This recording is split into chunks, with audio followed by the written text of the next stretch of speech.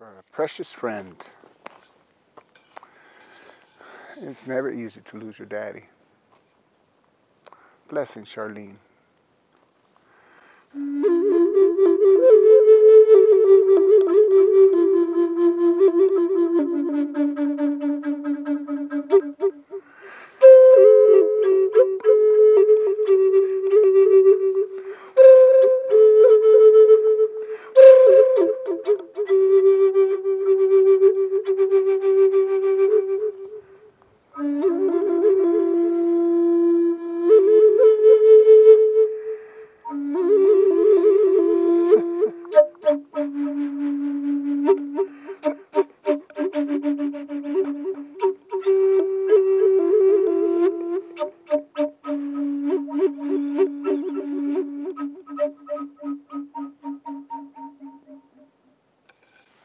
Blessings.